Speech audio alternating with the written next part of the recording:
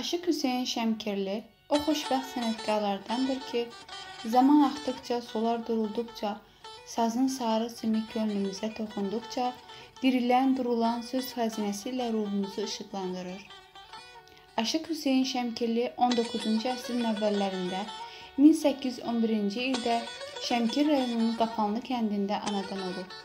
Sonra ailəsi Qaracəmirli kəndinə köçüb. Hüseyn ömrünün son gününə kimi o kənddə yaşayıb.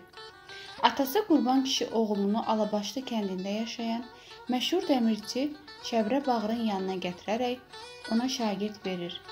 Çəbrə Bağır ali dəmirçi deyildi.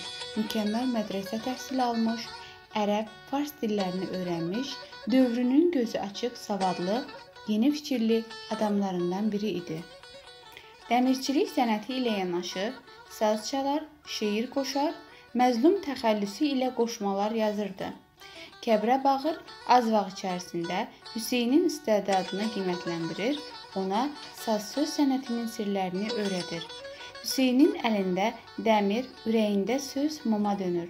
19-cu əsrin mənzərəsində Aşıq Hüseyn Şəmkirli, Aşıq Ələsgər və Aşıq Hüseyn Bozolqanlı üçlüyü Azərbaycan aşıq sənətinin unudulmaz üçlüyüdür.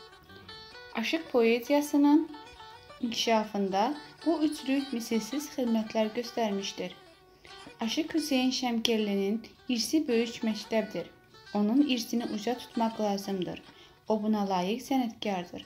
Aşıq Hüseyn Şəmkirli 1891-ci ildə 80 yaşında haqq dünyasına qovuşsa da, onun zəngin ədəbi irsi Azərbaycan aşıq ədəbiyyatının ən gözəl nümunələri kimi dildən dilə, eldən elə dolaşmaqdadır yüz illər boyu da belə olacaqdır.